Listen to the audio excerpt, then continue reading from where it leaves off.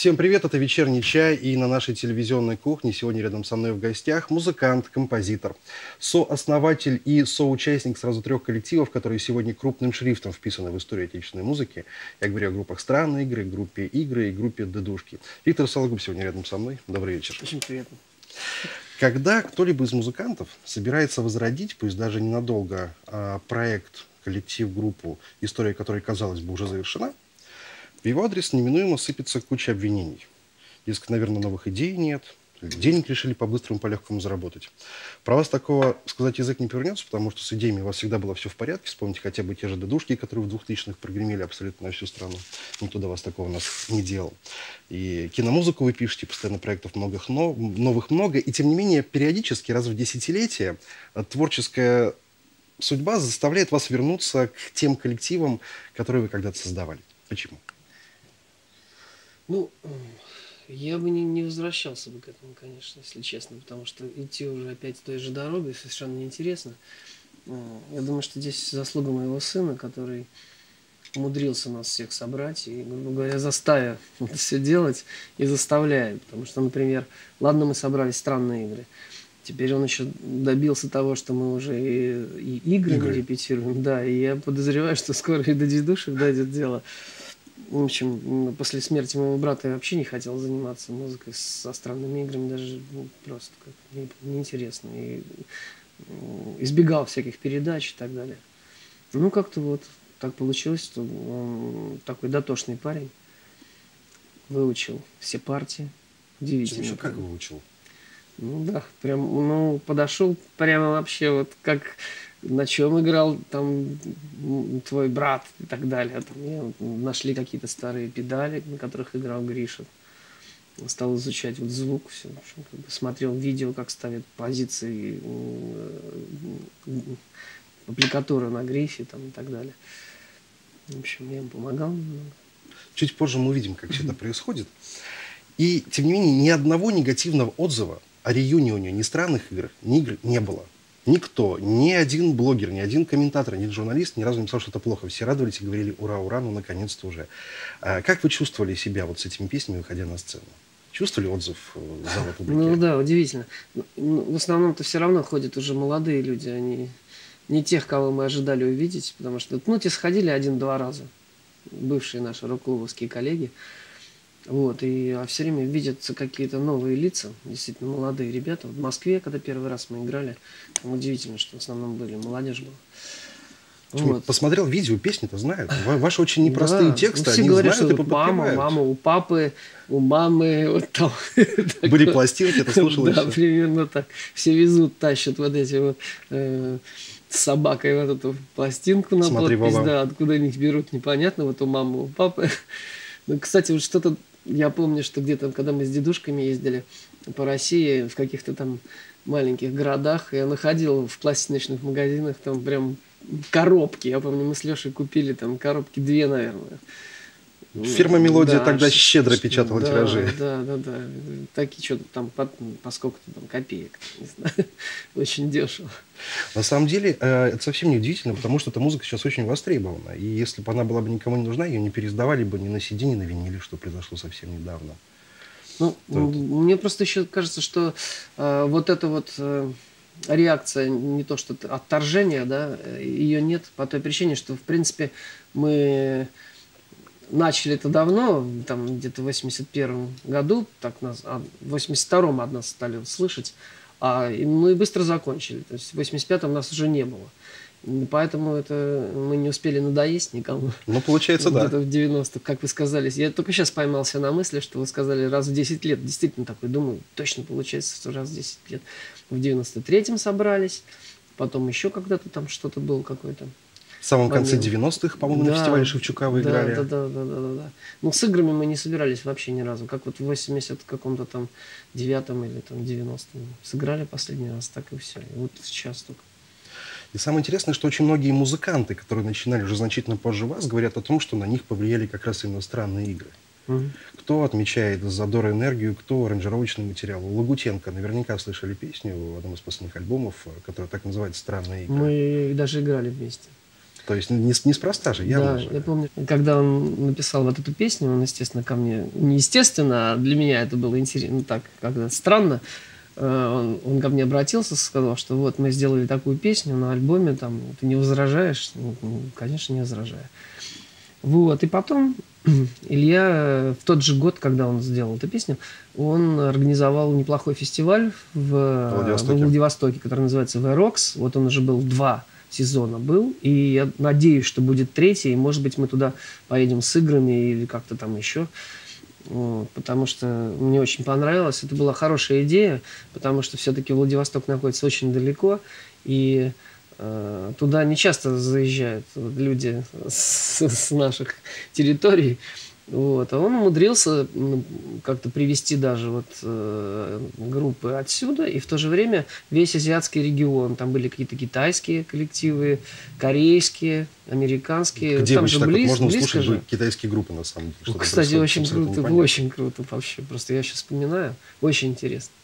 Вот, и, и как раз там вот он э, исполнял эту песню первый раз, и, и я говорю, что хочешь Типа я, он говорит, а можно?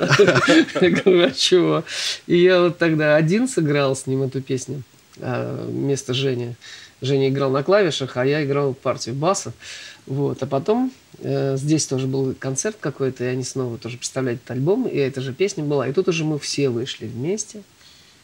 Э, и Филипп, и Леша Рахов. Не помню, Коля вот, Коли, наверное, не было. И мы сыграли вот эту песню «Странные игры». Скажите честно, сердце греет тот факт, что многие уважаемые люди говорят, что они уважаемыми стали во многом благодаря вам. Да, ну как-то мы скромные ребята. Но это факт. Не знаю. Это факт. Как-то мы не обращаем внимания. Скажите честно, а переслушиваете периодически свои нет. старые записи? Нет, старые, вообще старые? нет. Вообще не интересно. А когда случайно где-то попадаются? Вообще даже не, не обращаю внимания. Просто очень интересно, что вы сейчас думаете о том Викторе Сологубе, 25-летнем, который тогда все это пел и играл? Ну, вообще, Сильно вообще изменился не этот нравится, человек? Вообще не нравится. Почему? Тут еще Саша Лепницкий, э, я помню, сделал фильм, э, тоже история странных игр, довольно длинный такой, из двух частей. Геловая субмарина. Да, и потом как стали там выкладывать э, во все, в интернет во все эти наши интервью, где мы с братом, я смотрю прямо от стыда вообще А хочу почему? спрятаться. Не знаю, мне кажется, что как-то повзрослел, наверное. Кажется, такие наивные были дурачки. А насколько я понимаю, сейчас, когда вы исполняете те вещи, а, вы их принципиально играете максимально близко к оригиналу. Ну, да. А не было желания с учетом той техники, которая появилась сейчас, с учетом опыта и мудрости, нажитой за все это время, просто переиграть, переделать? Нет, совсем не интересно. Э, Вот скорее даже э, хочется написать новые песни какие-то, но обязательно в таком стиле, и может быть даже не в таком, а еще более раннем, там вот с какой-нибудь 60-е годы, там, начало 70-х, вот Velvet Underground, вот эти все там The Soft Полная психоделия. полная психоделия, потому что вот э, если кто-то вот был на наших концертах последних, вот мы немножко изменили аранжировку в дворнике, то есть мы сделали в середине песни, это на стихи, песня на стихи Данила Хармса. Вот, и там не такой проигрыш есть, такой немножко психоделический. Вот мне больше всего нравится играть эту песню. И Потому что есть там нотка свежая какая-то, да? да, и буквально вот там совсем недавно там был день рождения Майка Науменко, и мы играли э, свою программу такую короткую, открывали, э, открывали мы фестиваль этот, не Со фестиваль, странными играми. со странными играми. И специально накануне мы выучили, вот буквально репетнули, ну, отрепетировали, выучили песню э, «Мы живем в зоопарке» э, Майка. И Мы все живем в зоопарке. Вот. Но мы сделали абсолютно как бы не так, взяли только текст, э, он идет речитативом, а музыка как раз вот такой, м, психоделика такая, 60-х, Калифорния. То есть, если это все скрестить с вашим фирменным ска, даже сложно представить. Вообще там нет ни одного получится. элемента ска, и Алексей, э, он играл просто на тамбурине и сидел, и мне казалось, что ему тоже это дико нравится. А у Коли там было все тоже до аккорда. Это такой прям транс. Лучше, меньше, да, лучше. Да, транс, реально. Что бы вы ни говорили, но те альбомы, которые вы сейчас принципиально не переслушиваете, они сейчас такая классика абсолютно русского рока, как бы банально это словосочетание звучало, но это факт. Вы тогда понимали, что вы творите историю в этот момент, когда вот на Да той нет, допотопной конечно. аппаратуре Ну, все да, делали? ну, конечно же, нет. Ну, вы любого спросите. Я думаю, что Миша Барзыкин тоже не скажет, что он там делал какую-то историю. Там, или там Федя Чистяков, да? Ну, может, просто не признаются. Да нет, нет, вряд ли. Тогда, тогда же было такое время, когда все делалось э, просто вот от души, и какой-то порыв был. Мы же уже были тогда, закончили институты, работали инженерами, э, и умудрялись там три раза в неделю И ездить нет бы быть серьезными людьми, заниматься нормальными вещами. Уже дети были у всех там практически. А, Вот. И, и мы все равно это все делали вот буквально кажд- каждые там вот эти несколько дней в неделю мы э, ездили куда-то на электричке. Сейчас меня туда не затащишь никогда. Вот какой-то в Пе- в Петергоф, какой-то ДК, там туда отбираться, там час с лишним обратно. Тем не менее, мы там сидели, сидели и вот прям сочиняли и сочиняли. Все это очень подробно описано в книге о странных играх, которая Да. вышла в серии. Опять же, такие легенды нашего рока совсем недавно. Читали наверняка. Очень хорошая книжка. Прям вот я помню, что когда мне сказали, что она появилась, Игорь Чередник пришел, сказал, а смотрите, что у меня есть. Вот. И мы, мы прямо с Филиппом поехали, тут же стали искать. Ну, Не, не везде было. В киосках? В киосках, метро, да. Скупали сразу и всем дарили. Вот обложка знаменитого альбома, пластинка с такой обложкой, с собачьим взглядом, была практически в каждой советской фанатике. Неважно, любили музыку, люди или не любили. Тебе бы за одну обложку стоило покупать эту пластинку, потому что интересных обложек в советское время на фирме «Мелодии» было мало. Когда вышла пластинка с вашим участием в Америке в 86 году, то, что выпустила Стенгрей, какие Да. были ощущения? Нет, ну мы знали, что она выйдет. Это мы долгое время скрывали, мы все не признавались, кто передал. Ну, естественно, все знают, кто передал. Вот. Э, Ну, я знал, что она выйдет. Было очень приятно. Правда, было приятно, потому что казалось, что, э, ну, во-первых, то, что мы попали как раз вот все вместе, четыре группы на этих. Тогда уже, когда С она вышла, кино, странные игры уже не Алисой существовали. да. И... э, Кино, Алиса, аквариум. Аквариум. Да. Тогда уже не существовали странные игры, мы уже тогда развалились на авиаигры. Вот. И ребята, мои коллеги, они даже не знали, что я такую гадость совершил, передал вот эту пластинку туда, вот эти материалы. Хотя я знаю, что э, Андрей Тропила уже передавал точно так же наш альбом, и он где-то там в Англии издавался. Барабанщик одной известной группы. Тоже уже немного позже, это же был год, наверное, 87 88 Ну, я если, вот если видеть знаю. хронологию. А, Да. ну, за всем этим железным занавесом, когда еще только-только перестройка начиналась, не страшно было, что это может просто каким-то рикошетом по вам Да угодить? вообще не страшно. Не, ну я же говорю, что... мы- Подрывная деятельность. Да, мы тогда были э, молодые, энергичные. Я помню, даже были моменты, когда после какого-то э, рок-клубовского фестиваля, фестиваля очередного э, я и Петя Трощенков, барабанщик аквариум, с какой-то американской э, журналисткой, то ли из или еще откуда-то там. э, Мы там, нам казалось, что за нами следят, и мы там в метро пересаживались из одной электрички в другую, чтобы куда-то убежать. Там.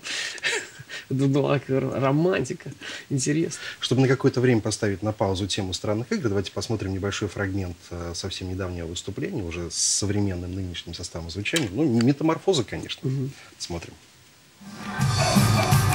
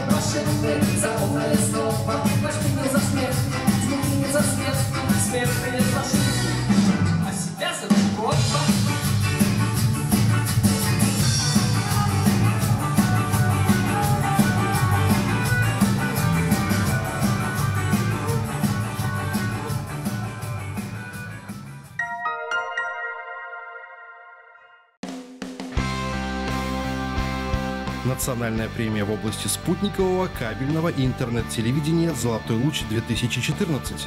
Лучший развлекательный канал России «Теледом». У нас все честно, просто и понятно. Приглашаем на работу продавцов рекламного времени. График свободный. Подробности по телефону 363 48 83.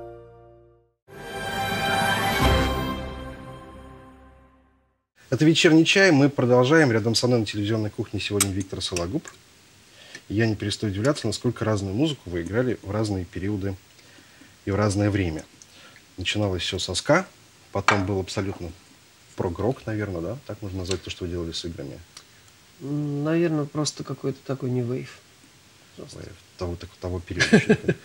С я гаражным звуком, да. А для Стингрея вы писали песни в стиле такой очень кре- крепкой поп-музыки, абсолютно по западным рамкам. Когда Ну, вы с ней писа- играли. там скорее мы исполняли наши песни, только э, с ее какими-то э, идиотскими текстами, как сейчас это, как представляется мне, когда я начинаю понимать, о чем она там пела, про какого-то Ерошу там, да, непонятно. Вот. А там Сережа Курехин в основном тоже есть какие-то сочинял песни. Вот я как человек, не знающий английский язык, когда все слышал еще с тех первых пластинок ее, абсолютно фирменная западная поп-музыка. Совсем не похожая ни на игры, ни на странные игры, совсем пе- песни, авторство, В. Сологуб, все стоит, вот, пожалуйста. Да? Ну, хорошо.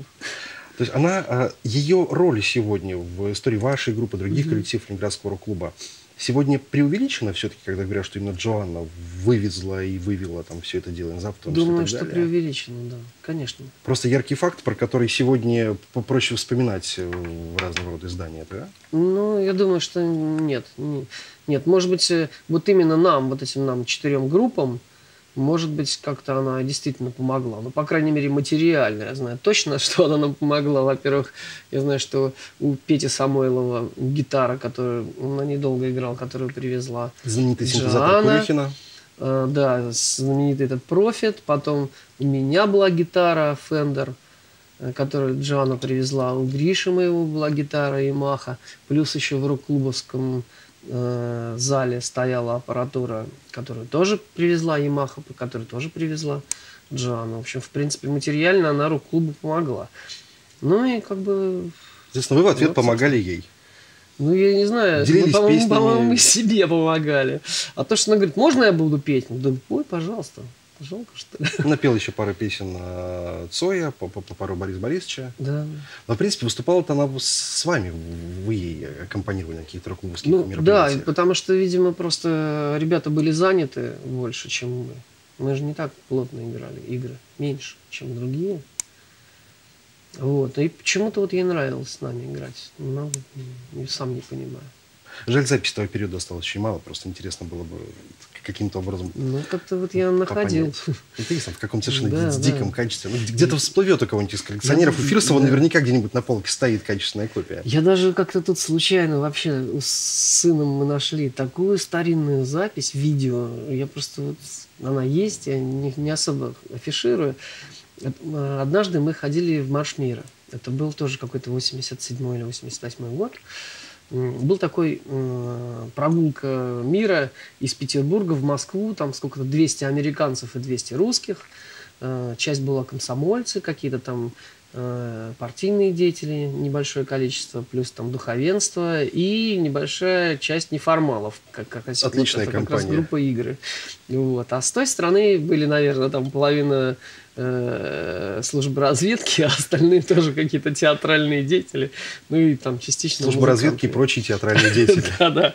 Это было интересно. Мы шли, значит, из Петербурга в Москву, заходя в маленькие городки, такие как там Новгород, Тверь, там все вот то, что находится прям по дороге. Там где-то ночевали, давали концерты, шли дальше пешком. Прям реально пешком по 25 километров проходили.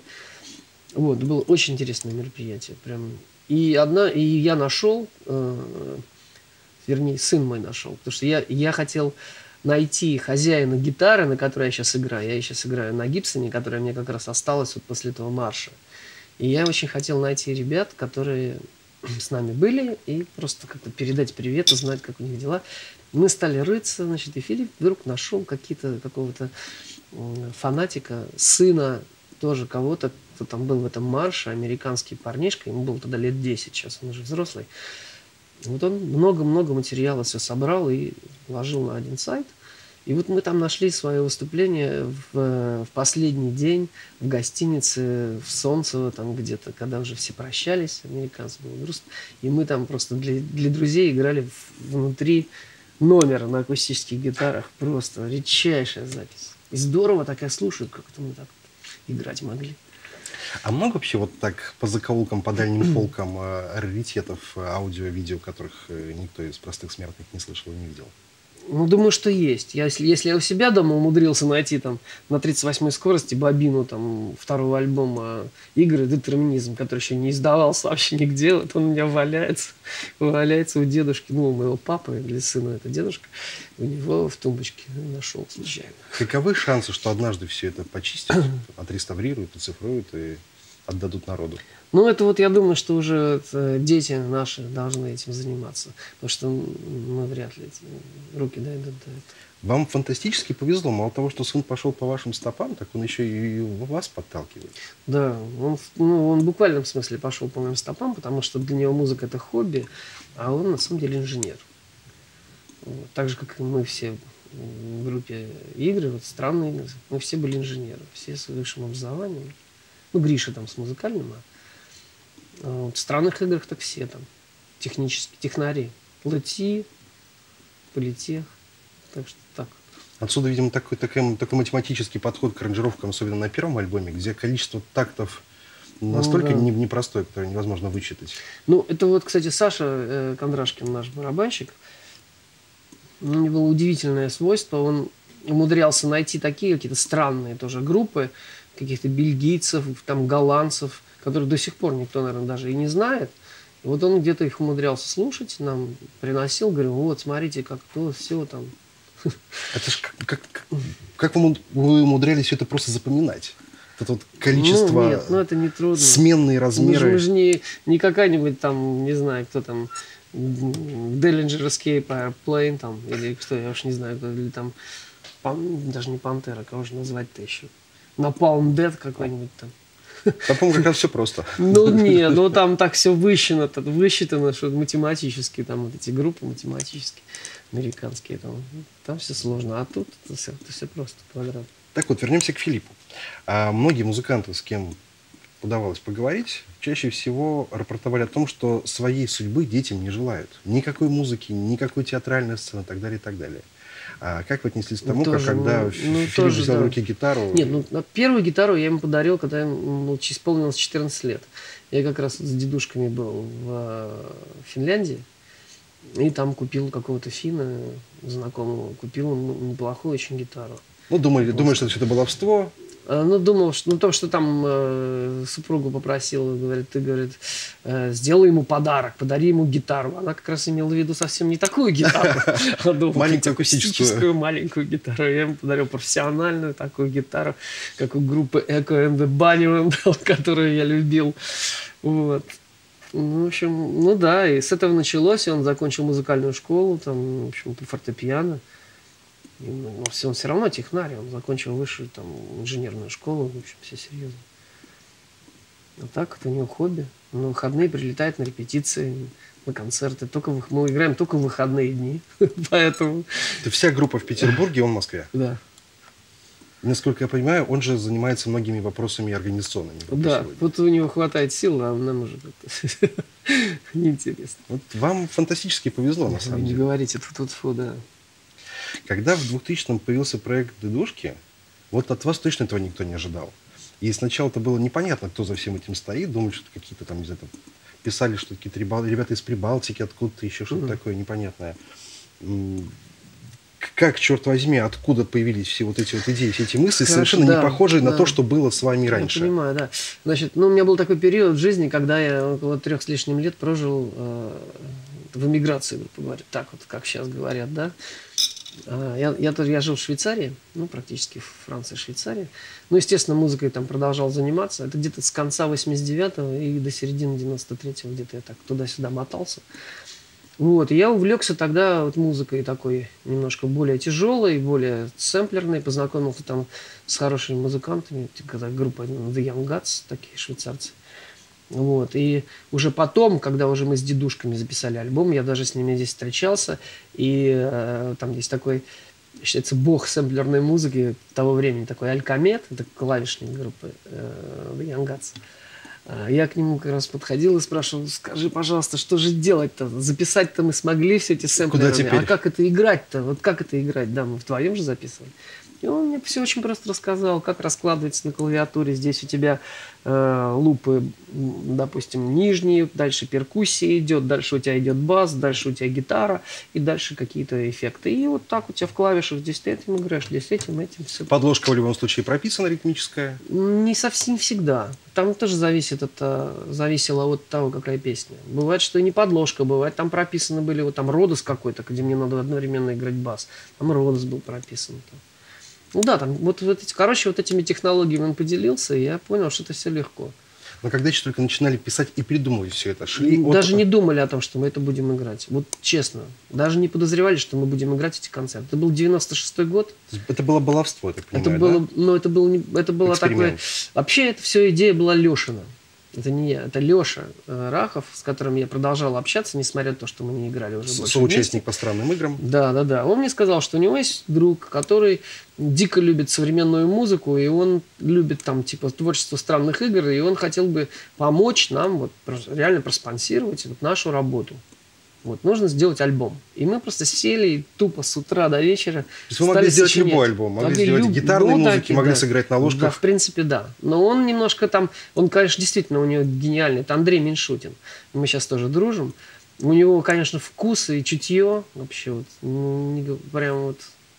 Как раз вот я благодаря ему я узнал такие группы, как там Frontline Assembly, и там, ну не про Prodigy, Prodigy-то, конечно, я знал, но как бы вот, как бы вот основных, основной костяк вот этих вот тяжелых сэмплерных групп я уз- узнал от него. Конечно, мы не стали следовать, потому что мне это не очень нравилось. Вот. Ну вот он нам помог, э, пр- профинансировал нашу вот эту поездку в Лондон, где мы на студии записались на неплохой, где как там Сканкананс, Эко все вот эти сил. Э, ба- Барабанщиком у нас, ой, барабанщиком, продюсером нашим был барабанщик Гарри Ньюмана, первый альбом, вот, который мы делали. Писали здесь, сводили там. Писали мы прямо вообще на кухне все. Ну, дома у меня, на кухне у Леши там и так далее. все писали в сэмплеры, а сводили там. Я только помню, что в одной песне я переписал бас партию бас-гитары, А всё голоса? остальное- голоса писали здесь. Прямо в 58-й шур, который я купил у Джаны.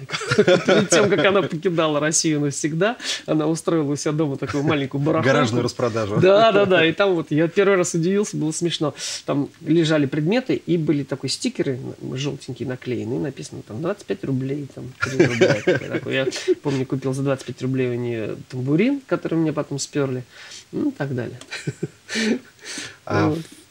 Потом был еще один альбом с дедушками собственный, и два Да. альбома очень стоящих особняком в дискографии вашей и тех артистов, с которыми вы писали. Я говорю про альбом, записанный с Бутусовым, и альбом с э, Гребенщиковым. Мгм. А чья была идея сотрудничества? Вы при- предлагали свое участие Нет, друзьям, э, товарищам, ну, или они выходили Это? Бо- Боря предложил. Там было так, это значит, ну, по-моему, 97 год, я тогда записывал Эдуарда Хиля. Там целый альбом, это был такой Хили сыновья, а я был в качестве С, при- с припинаками. да, в качестве продюсера, там, аранжировщика. И на Добролете вот мы записывали, и туда однажды зашел э, Стас Гагаринов. Это Директор аквариума. директор аквариум, да, директор Бори был тогда. И он сказал, что вот, типа, Боря хотел бы, чтобы ты сделал ему какой-нибудь ремикс. Там. Я говорю, ну что, он говорит, вот, вот на песню «Я твой духовный паровоз». Вот, сейчас как помню. И он мне ставит эту песню, я слушаю там как-то так. Я говорю, ну что тут делать? И прям при нем беру, сэмплирую куски прямо из этой песни. А у меня был тогда Ensonic. Я прямо туда же прям сэмплирую и, и быстро в клавишах у меня там есть партии, ну, вот куски прямо этой песни. Я играю часть этой песни, часть там, ну, подрезал лупы уже, там, часть есть, часть этой. Говорю, вот можно так сделать, можно сразу подложить другие барабаны. Тут же беру еще какой-то луп сверху, так он говорит, ой, вот это да, там, типа, давай. И я ему прям тут же взялся, слил, э, ну, свел как-то быстро, и я прям Это никогда не издавалось, никто этого не Нет, слышал нет, нет, никогда. потому что, ну, я расскажу дальше, что. Потом, значит, он говорит, все, так вот, Боря, так все понравилось, ты можешь делать? Я говорю, могу, только можно я буду делать не вот эту песню, твой духовный паровоз, а можно я сделаю те песни, которые мне нравятся. Он говорит, а какие? Ну, давай вот три песни, говорю, отберу вот и сделаю. И дальше уже я там позвонил Леше, говорю, Леш, давай, будешь опять? Он говорит, буду. И мы с ним вдвоем у меня дома тоже. Я как раз после того, как я помог вот, э, сделать этот альбом Хилю, э, я весь гонорар потратил на покупку нового сэмплера. Мне тогда вот Акай 3000 XL, это вообще последняя новинка, просто последняя, лучшее, что было. Бедные жены музыкантов, когда А другие я, мужья... меня не было никого, я жил один, и все. И некуда было тратить деньги. Вот это было мое большое, большое преимущество. Вот, и все. И как бы мы начали делать, сделали три песни. Потом Боря говорит, давай продолжим, весь альбом сделаем. Давай. И потом я поехал э, на Пушкинскую, там взял все альбомы Бори, которые были. Из- из- там что-то там в магазинах взял, что-то у него. Даже у меня есть, надо ему тут сказать, ему будет приятно. У меня есть редкая-редкая запись Бориса, его концерт на BBC, где-то там, на радио, который, наверное, он уже потерял. Он мне на дате валяется. Надо ему отдать, ему будет приятно. Хорошо, что я сейчас вспомнил. Вот. И мы начали потихоньку делать, но мы выбирали именно тот период, когда вот мы вместе в рок-клубе все а, ходили на собрания, собирались на эти рок-клубовские концерты, и когда вот все-таки было такое вот единение еще рок-клубовское. И, собственно, вот из этих песен у нас родился альбом. Сводили опять же там. А ой, там тоже интересная история. А, да, во-первых, вот первый альбом, что вот этот Грег Бримсон, барабанщик э, Гарри Ньюмана, я с ним познакомился в популярном тогда андеграундном клубе Фиш Фабрик. Такой был даже не клуб, это была квартира на последнем этаже на Пушкинской 10. И однажды мой приятель, филолог, он говорит, слушай, тут ко мне какой-то англичанин приехал с какой-то индийской девушкой, и мне надо с ними тут... Можешь с ними постоять полчаса? Я, я, я сейчас съезжу по делам. А мы просто в этом баре стояли и начали с ним разговаривать, что за парень, там, кто такой там. И говорили, говорили, говорили, выяснилось, что вот он занимается музыкой. Я даже не знал, что он, какой он барабанщик, где он играл раньше. Он говорит, можно посмотреть твою студию? Говорю, можно. И мы привезли его там на эту к в квартиру, там, где мы, мы работали над альбомом. И он такой, послушай, да, Atari 1040, и я точно так же, и я на таком же, у тебя инсоник, и я на инсонике, и все как бы, ой, он говорит, а давайте я сведу ваш альбом. Я говорю, ну давай. И все, и мы так поехали. А договор с нам, нам делал, сейчас скажу, как же его звали-то, адвокат группы Prodigy. Э, Маленький тесный мир. Да, да, да. Адвокат, он нам делал как раз вот звукозаписывающую компанию, делал все там. Они хотели даже издать что-то, но все это кануло. Конечно, никому не надо было э, русские песни. Я даже помню, что они сделали, по-моему, сингл, вот если найти, поискать. Там песню «Парашютист» я пою на английском языке, и там изменены слова, и Катя Голицына сделала свой вариант текста, потому что нельзя было, э, в Англии нельзя было петь про э, guerrillas, это, ну, параш- ну, диверсант и как бы там террорист, и поэтому нужно было полностью поменять. Есть какая-то версия, не знаю, где она есть, на английском языке пою песню «Парашютист». Вот и потом Тан- э, Игорь Танких, Фили.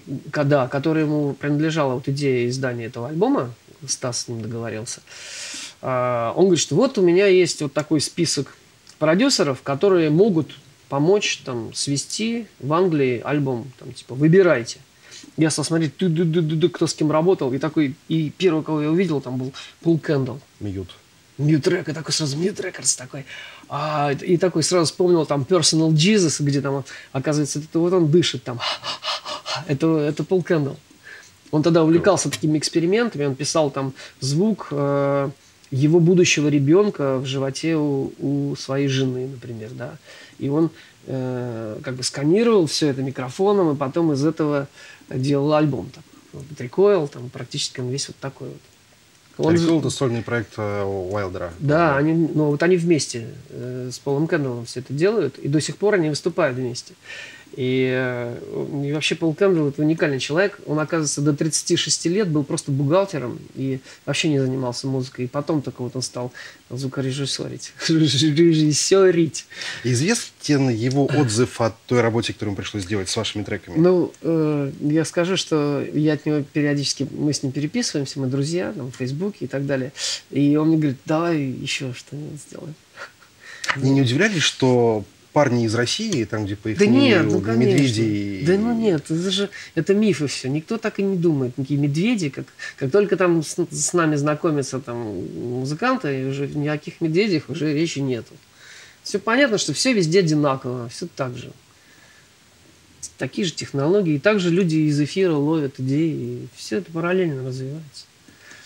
Вот, а говоря о Славе Бутусове, тоже, значит, он, когда он приехал э, на Пушкинскую, переехал, мы как-то встречались с ним, и тоже родилась идея, давай, типа, сделаем.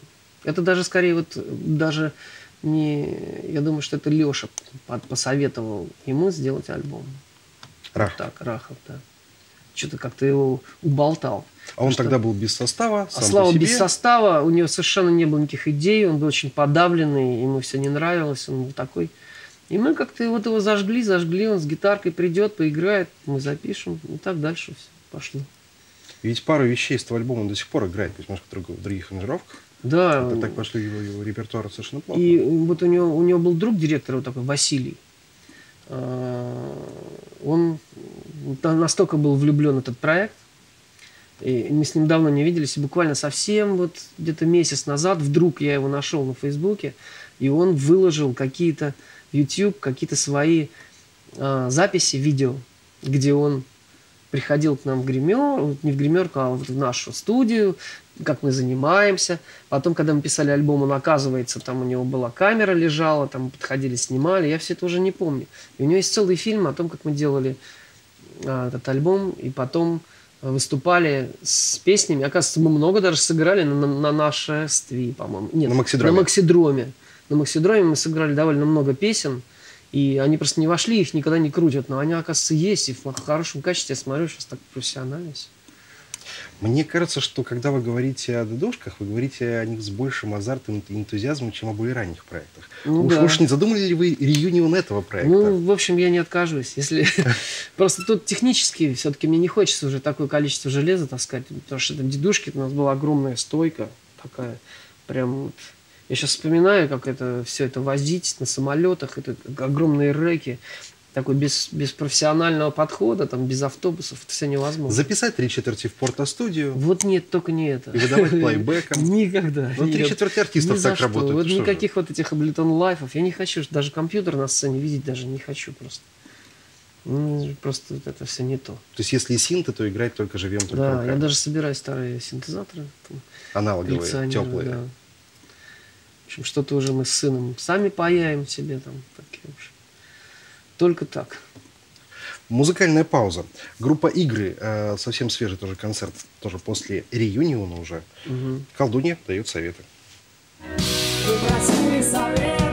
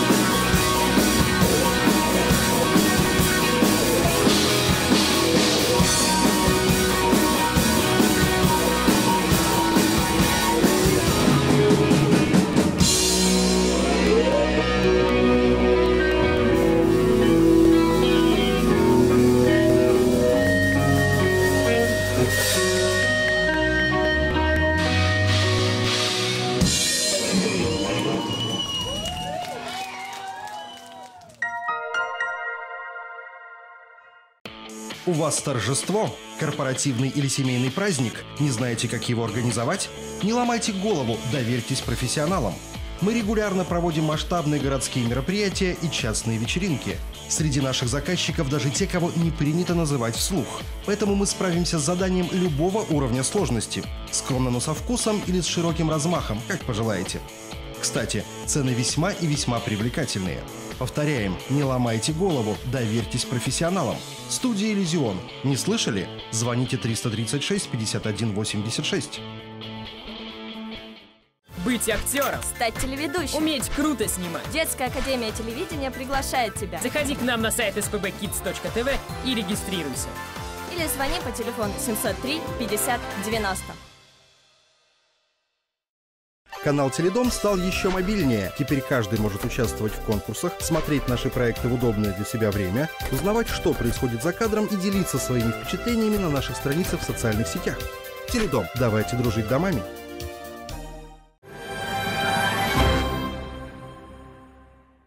Вечерний чай сегодня мы пьем вместе с Виктором Сологубом, сосоздателем и сооснователем групп «Странные игры», «Игры», проекта «Дедушки» и еще много чего интересного.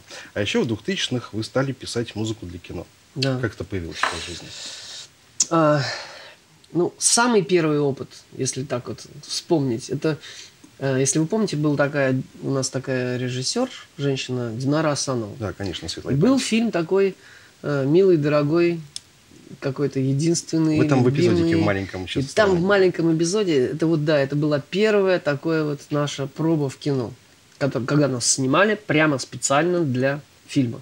Там, когда были собраны в каком-то ДК, то ли Ленина, то ли Крупской, была собрана, собрана огромная толпа вот этих безумных панков-фанатов, и, и они, им позволено было делать все, что угодно, и нам было позволено делать все, что угодно на сцене.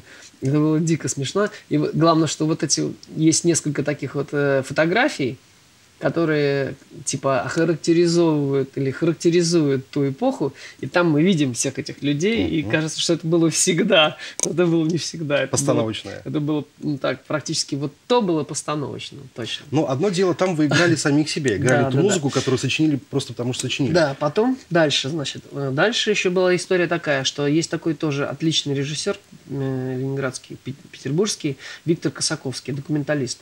Ну, вы, наверное, знаете, э, его самый известный фильм его, это когда он снимал «Землю» и то, что происходит с одной стороны Земли, и одновременно то, что с другой Что-то стороны помню, что планеты. было, Там, да. там, например, там какой-то тигр или лев, там он засовывает голову там, в воду, а из океана там выскакивает какой-нибудь кит. Ну, что-то вот такая вот у него была идея.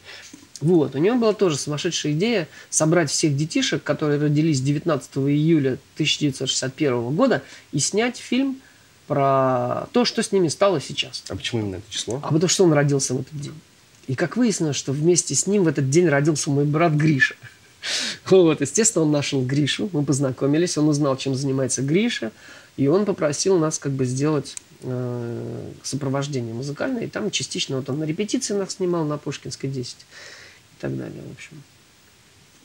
И, ну, может быть, благодаря этому тогда вот мы и собрались снова со странными играми, потому что был как раз тот год, когда э, когда вот мы не играли, и это был повод нам собраться, чтобы порепетировать. Ну, представить в фильме, что мы репетировали. Вот, а дальше уже это был антикиллер. Меня нашел Егор. Вот, скорее Юсуп даже его продюсер, Юсуп Бакшиев. Вот, попросил меня, сказал, что вот у вас есть там такие дедушки, мне очень нравятся такие-то песни, можно ли их взять там в кино, типа, я говорю, можно. И потом, он, ну, я приехал с ним разговаривать, поставил, я говорю, слушай, это не, вообще неправильно, давай лучше я сам Новое оригинальное. Сделаю, да, сделаю лучше из этих версий, потому что у меня были и минусовки какие-то. Э, Давай лучше я там типа что-то возьму и переделаю, специально адаптирую под фильм. Ну, Егору идея понравилась, и вот это был мой первый такой опыт. А после этого Егор уже так быть, меня схватил, и дальше я уже вот все фильмы Егора делал уже я. Вот. А насколько музыка для кино позволяет самовыражаться? Ведь все-таки здесь А, э, нужно подстраиваться Нет, под чужие нет, идеи. нет, нет, нет, нет. А, вообще, как бы, э, вот это вот аудиовизуальное произведение, называемое, да, то, что мы видим, Сумма рекламу, звука да, и это как картинки. раз сумма звука и картинки. И не зря, что считается, что э, режиссер, там, оператор и композитор – это три автора, которые Равноправных абсолютно. да, ну, сценарист.